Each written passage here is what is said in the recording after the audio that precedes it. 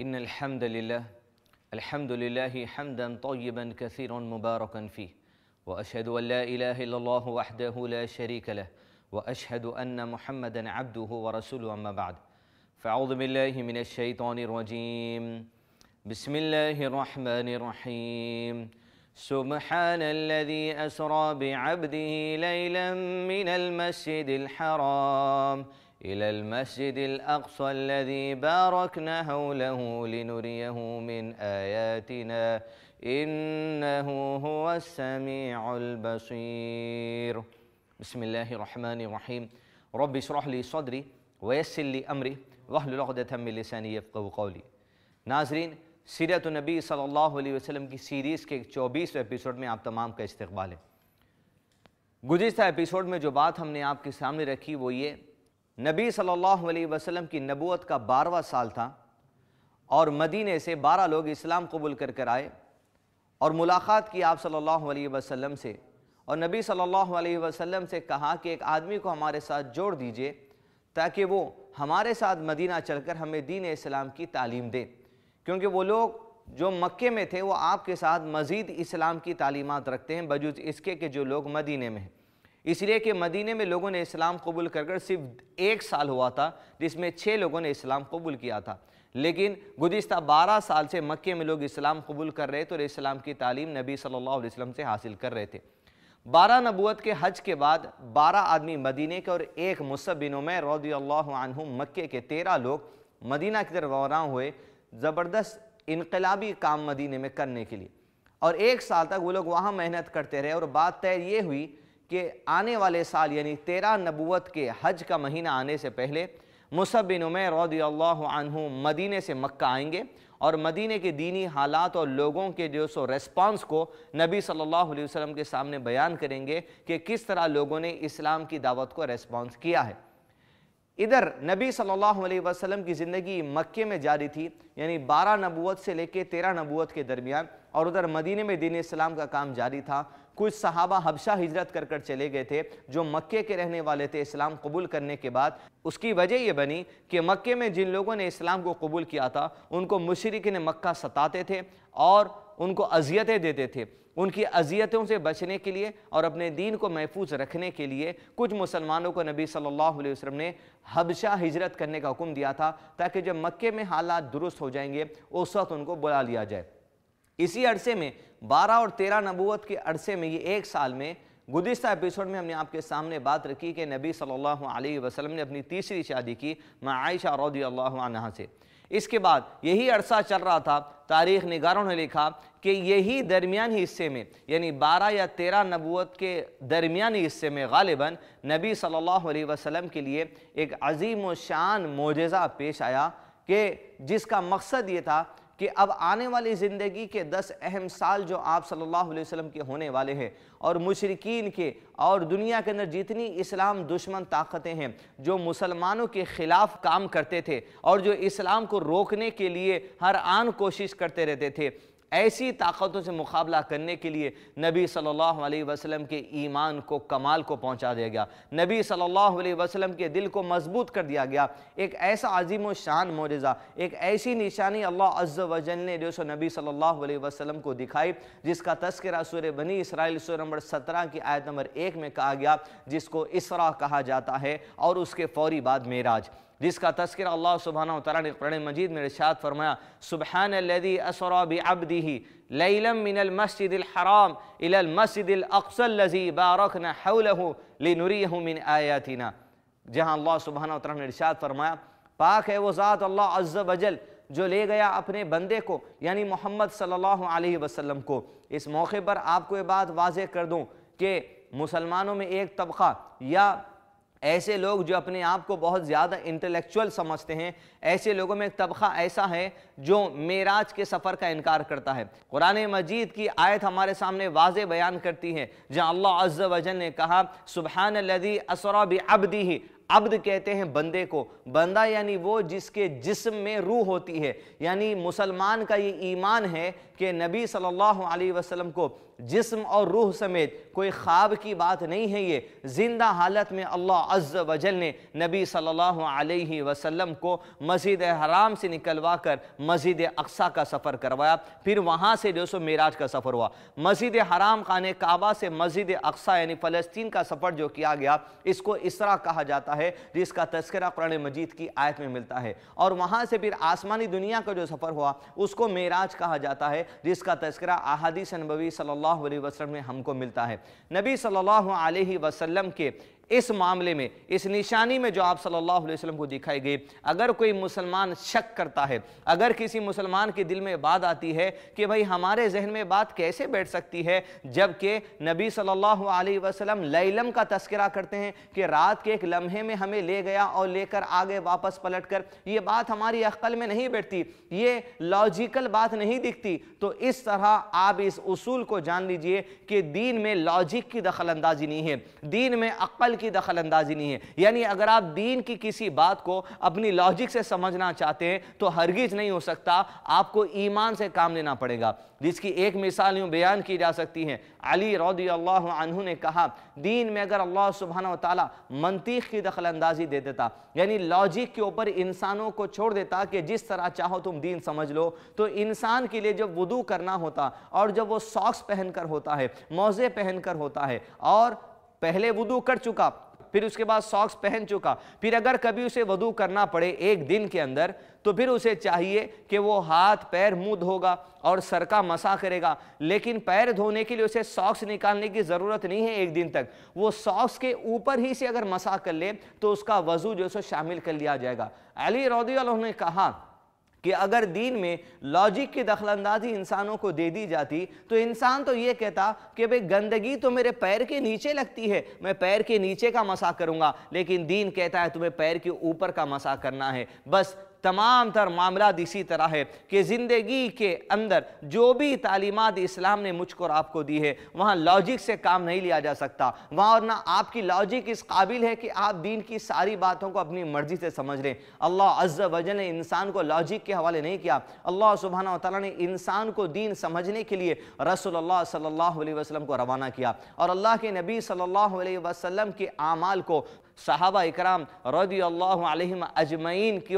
आँखों से दिखाया और उन्होंने नबी सल्लल्लाहु अलैहि वसल्लम के अमाल को महफूज किया लिख कर सहाबा इकराम अल्लाह के नबी सल्लल्लाहु अलैहि वसल्लम की बात को सुनते और अपने कानून से सुनकर याद किया करते, नोट किया करते और उसके बाद साहबा ने नबी सल्लल्लाहु अलैहि वसल्लम के अमाल को महफूज किया, अपनी ज़िंदगी में उतारा और अल्लाह अज्ज ने इसी तरह दीन इस्लाम की हिफाजत की और आज भी दिन महफूज है, हमेशा ये दिन महफूज ही रहेगा। नबी सल्लल्लाहु अलैहि वसल्लम के साथ मेराज का सफ़र। नबी सल्लल्लाहु अलैहि वसल्लम कहते हैं कि मुझे जिबरील अलैहिस्सलाम तशरीफ़ लाए और लाकर हतीम के अहाते में मुझे लिटा दिया। और जब हतीम के अहाते में मुझे लिटा दिया, आपको याद होगा नाजरीन के पहले या दूसरे एपिसोड में हमने आपको बताया कि जब आप सल्लल्लाहु अलैहि वसल्लम की उम्र चार से पाँच साल के दरमियान थी, आपके सीने को चाह कर कर दिल को धोया गया था। इस मौके पर भी हदीस मिलती है जहाँ नबी सल्लल्लाहु अलैहि वसल्लम ने कहा, इस मौके पर सलाम भी मेरे सीने को दोबारा चाह कर दिए। मेरे दिल को सीने से निकाला और मेरे दिल को धोया गया और ईमान के थाले में उसे रखा गया। और नबी सल्लल्लाहु अलैहि वसल्लम ने कहा, एक काली सी परत थी, ये कहकर कि ये शैतान के हिस्से को आपसे दूर कर देगा, उस काली सी परत को निकाल दिया गया। दिल को धोकर आपको दोबारा सीने में रख दिया गया और सीने को सील कर दिया गया। अब नाजरीन, ये तैयारी है उस आने वाले दस सालों की, जिसमें मुसलमान बहुत बड़ी आजमाइशों में जैसो डाले गए। उनके ईमान को बहुत ही ज़बरदस्त तरीक़े से आजमाया गया। वो दस अजीम साल जो नबी सल्लल्लाहु अलैहि वसल्लम की ज़िंदगी में, वो दस अहम साल जो नबी सल्लल्लाहु अलैहि वसल्लम की ज़िंदगी में आने वाले हैं, उन तमाम की तैयारी थी। आप सल्लल्लाहु अलैहि वसल्लम को लिए इसरा हुई। मक्के से निकले आप सल्लल्लाहु अलैहि वसल्लम कहते हैं कि मेरे सामने एक सफ़ेद रंग का जानवर लाया गया था। मुझे उस सफ़ेद रंग के जानवर पर बिठा दिया गया और मुझे जिब्रील सलाम के साथ वो जानवर पर सवार कर कर ले गए मस्जिद अक्सा की तरफ़। अब वो जानवर की रफ्तार ऐसी थी, वो जहाँ कदम रखता उसकी नज़र की इंतहा पर कदम रखता। नाजरीन, इस बात को जान लें, ये मामला गैबी मामला हैं। ये ऐसे मामला हैं जो आम इंसान के इल्म से आम इंसान के इल्म नहीं है। तो लिहाजा जितनी बातें कुरान और नबी सल्लल्लाहु अलैहि वसल्लम की अहदीस में गैब से मुतक़ आएँगी, मेरा और आपका काम ये होना चाहिए, हम सीधा उन पर ईमान लेकर आए, उन पर अक्ल ना लड़ाएँ, उन पर लॉजिक ना लड़ाएँ, उनसे बहस करने की कोशिश ना करें कि ये ऐसे कैसे हो सकता है। आज के ज़माने में हमें बात समझ नहीं आती। अगर आपको आज के ज़माने में बात समझ नहीं आती तो उस ज़माने में मुशरकी ने मक्का को भी बात समझ नहीं आती थी। मुशरकी ने मक्का ने भी एतराज़ किया था कैसी बात हमारे सामने करते हो। तो मुशरक ने मक्का का मामला और आपका मामला कहीं एक जैसा तो नहीं हो गया। तो गैब की जितनी बातें आएँगी, हमारा मामला होना चाहिए। हम उन पर सीधा ईमान लेकर आए। लॉजिक की दखल अंदाजी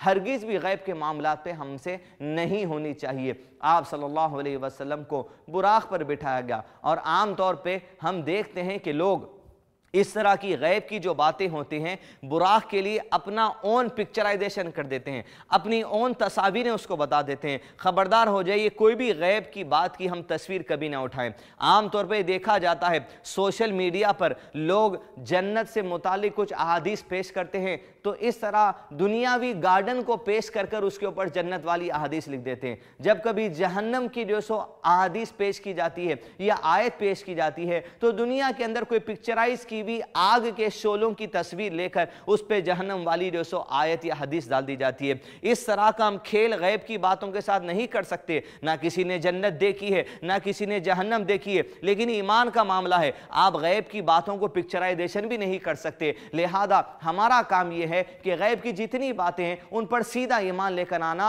अगर आप कामिल मुसलमान हैं। लेकिन अगर आपके अंदर शक होता है तो समझिए आपका ईमान आपके अंदर जो है वो शक वाला है। बुराक पर जो जानवर था, सफ़ेद रंग का, कैसा था? बेशक वो अल्लाह के नबी सल्लल्लाहु अलैहि वसल्लम ने देखा, वही देखा, और अल्लाह अज्ज वजल उसका बेहतर इल्म रखने वाले हैं। नबी सल्लल्लाहु अलैहि वसल्लम को मस्जिद हराम खाने काबा से मस्जिद अक्सा की तरफ़ ले गए, और नबी सल्लल्लाहु अलैहि वसल्लम कहते हैं, जब मैं वहाँ पहुँचा तो मस्जिद अक्सा के पास उस बुराक को बाँध दिया गया वहाँ पर, जहाँ अंबिया कराम अपनी सवारी को बांधा करते थे। नाजरीन, अहादीस में बात भी मिलती है कि इस मौके पर अल्लाह के नबी सल्लल्लाहु अलैहि वसल्लम की मुलाकात अम्बिया कराम से हुई और आप सल्लल्लाहु अलैहि वसल्लम ने मस्जिद अक्सा में दो रकत सला अदा की और तमाम अम्बिया की इमामत इस वक्त अल्लाह के नबी सल्लल्लाहु अलैहि वसल्लम ने की। लोगों को फिर से सवाल आएगा, ये अम्बिया वहाँ पर कहाँ से आ गए? ये गैब की बातें ऐसी कैसी हैं जो हमारी लॉजिक में नहीं बैठती? जिस तरह हमने ब्रेक में जाने से पहले आपके सामने उसूल रखा। अल्लाह अज्ज वजल हर काम करने पर कादिर है। अल्लाह अज्जल जो चाहे कर ले, अपनी निशानियाँ बताने के लिए, अपने मोजात अल्लाह के नबी सल्लल्लाहु अलैहि वसल्लम को देने के लिए अल्लाह सुबहाना तला जो चाहे कर ले। और जब अल्लाह के नबी सल्लल्लाहु अलैहि वसल्लम ने अपने अहादीस में कहा कि इस तरह मामला हुआ तो अगर आप शक करते हैं तो क्या आप ये कहते हैं कि अल्लाह के नबी सल्लल्लाहु अलैहि वसल्लम ने झूठ कह दिया। नाउज़ बिल्ला नबी सल्लल्लाहु अलैहि वसल्लम ने अबू हुरेरा रदी अल्लाह से कहा, जिनको मुशरकी ने मक्का ने कहा था, अबू हुरेरा, तुम हदीसें लिखते चले जाते हो, नबी सल्लल्लाहु अलैहि वसल्लम कभी अच्छे मूड में होते हैं और कभी गुस्से में होते हैं। गुस्से में न जाने उनकी ज़ुबान से क्या क्या बातें निकल जाएँ। अबू हुरेरा, क्या तुम सारी बातें लिखते चले जाओगे? तब अबू हुरेरा रदी अल्लाह कहते, मैं अहादीस लिखना छोड़ दिया। मैं नबी सल्लल्लाहु अलैहि वसल्लम के दरबार में गया। पूछा, अल्लाह के नबी सल्लल्लाहु अलैहि वसल्लम मुशरकी ने मक्का कहते हैं, मैं हर बात आपकी लिखता चला जाता हूँ। आप कभी अच्छे मूड में होते हैं, कभी गुस्से में होते हैं। गुस्से में न जाने आपकी ज़ुबान से क्या निकल जाए। नबी सल्लल्लाहु अलैहि वसल्लम ने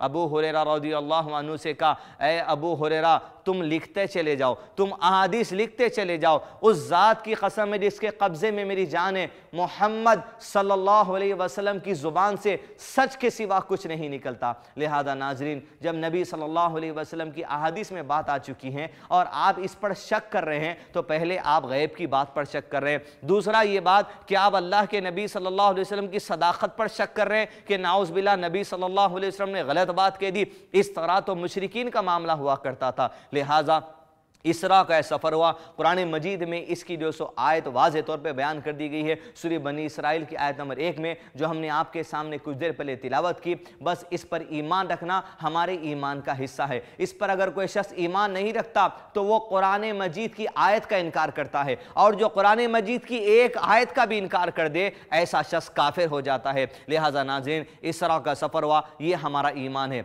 अब यहाँ से रसोल्ला सल्लल्लाहु अलैहि वसल्लम की अहादीस में ये बातें मिलती हैं कि इसरा के बाद आप सल्लल्लाहु अलैहि वसल्लम के लिए मेराज हुई। मेराज यानी कराम ने कहा ऊंचाई पर चढ़ने को। लिहाजा अब जबरील सलाम नबी सल्लल्लाहु अलैहि वसल्लम को आसमानी दुनिया के सफ़र की तरफ़ ले जाने के लिए तैयार हुए। अब आसमानी दुनिया की तरफ़ नबी सल्लल्लाहु अलैहि वसल्लम का सफ़र आगाज़ होता है। सातों आसमानों का सफ़र अल्लाह के नबी सल्लल्लाहु अलैहि वसल्लम को करवाया गया। हर आसमान पे नबी सल्लल्लाहु अलैहि वसल्लम की मुख्तलिफ़ अम्बिया कराम से मुलाकात हुई। तमाम अम्बिया कराम अल्लाह के नबी सल्लल्लाहु अलैहि वसल्लम से जितने उन आसमानों पर थे, उनसे मुलाकात हुई। नबी सल्लल्लाहु अलैहि वसल्लम से सलाम हुआ। नबी सल्लल्लाहु अलैहि वसल्लम को मरहबा का, नबी सल्लल्लाहु अलैहि वसल्लम की नबूत का इकरार किया और अल्लाह के नबी सल्लल्लाहु अलैहि की मुलाकात छठे आसमान पर मूसा सलाम से हुई थी। इस बात को याद रखिए। सातवें आसमान पे नबी सल्लल्लाहु अलैहि वसल्लम की मुलाकात अपने जद्द आला, जिन नबी से नबी सल्लल्लाहु अलैहि वसल्लम का सिलसिला शुरू हुआ, इब्राहिम सलाम से हुई।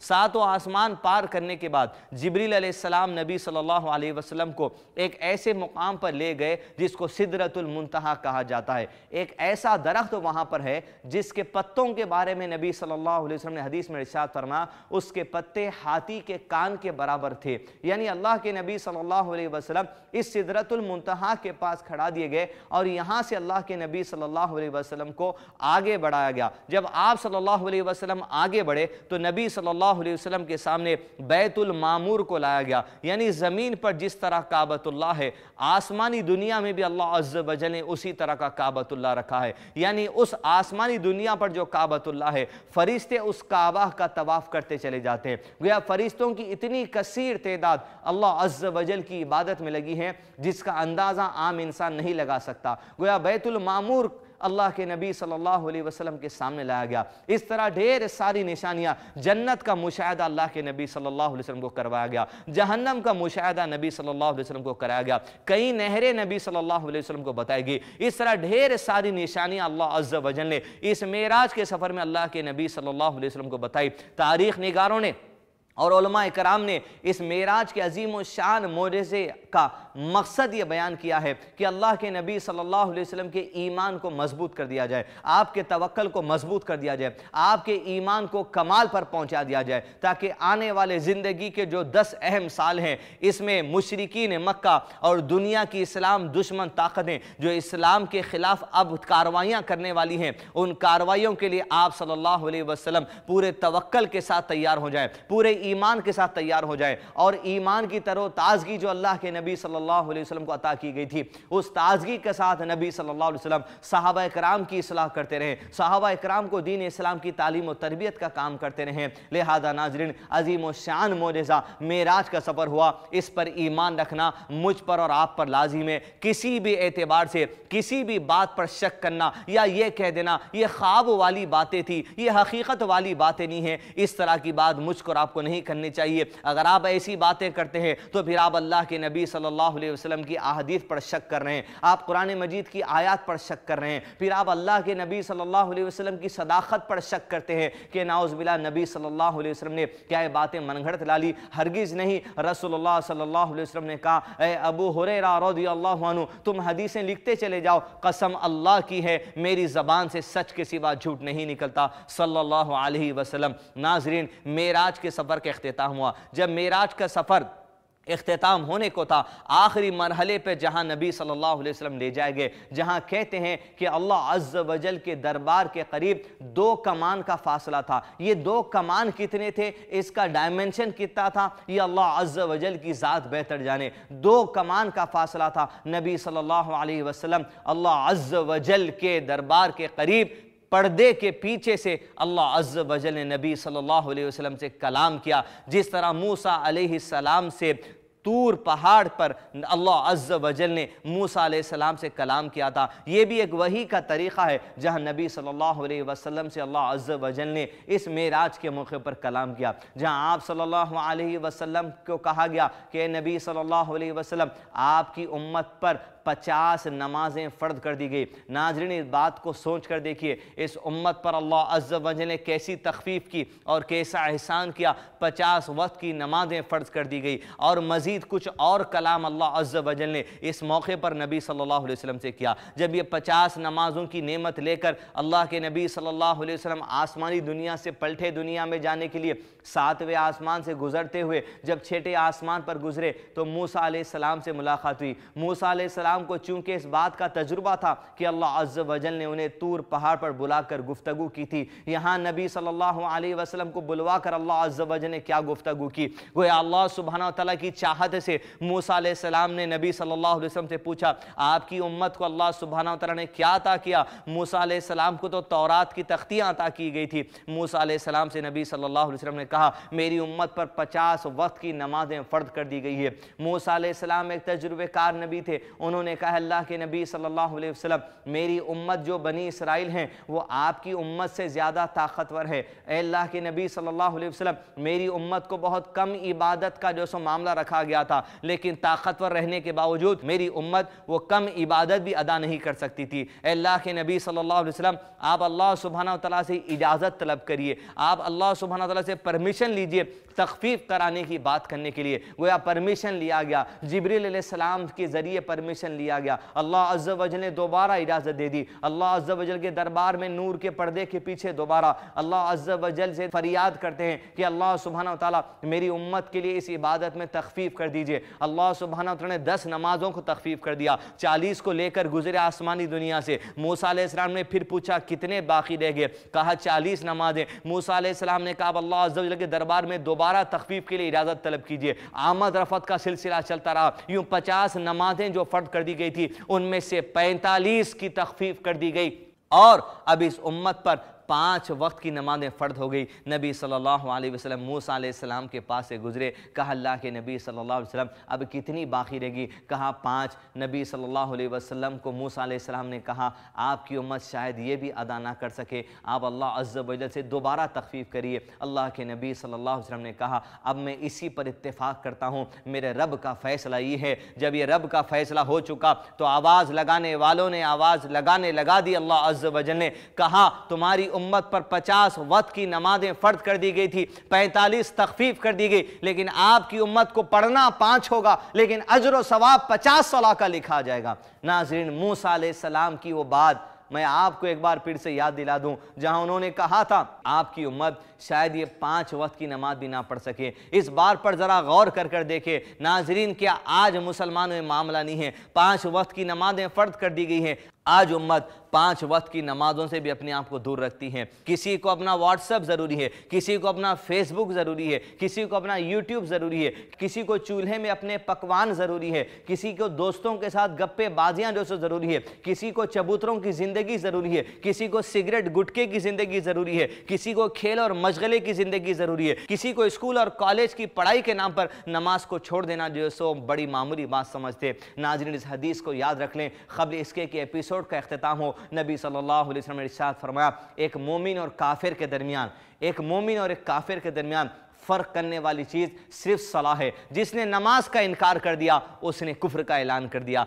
शेख बिनबाज रहमुल्ला ने कहा, अगर आदमी सुस्ती, काहिली की वजह से या जानते बूझकर भी सलाह को छोड़ दे, ये दोनों आदमियों ने कुफ्र का इरतकब किया। नाजरीन, सलाह का इनकार कुफ्र है। अपने आप को कुफ्र से महफूज रखे। अल्लाह अज्ज वजल ने एक ऐसी नेमत हमको दे दी है सलाह, जिसके ज़रिए हम अल्लाह अज्ज वजल से रिश्ते को मज़बूत कर सकते हैं, जिसके ज़रिए हम अल्लाह सुबहाना तला की हमद सना बयान कर सकते हैं, जिसके ज़रिए हम अल्लाह सुबहाना तला से अपने गुनाहों की मफफरत का ज़रिया बना सकते हैं। नाजरीन, सलाह को कायम रखिए। ज़िंदगी में उसूल उसूल को कायम रखिए। ज़िंदगी में एक ऐसा उसूल अल्लाह वजल ने दिया है। एक ऐसी इबादत हमको और आपको दी है कि जिस इबादत को लेकर हम दुनिया और आखिरती कामयाबी हासिल कर सकते हैं। अगर इसको छोड़ देंगे तो मुसलमान और काफिर में कोई फ़र्क नज़र नहीं आएगा। हमारी शान, हमारी इज़्ज़त, हमारी पहचान इस सलाह से है, इस इबादत से बस इसी के साथ आज के इस एपिसोड का अख्ताम किया जाता है। असलकम वरहमल वर्का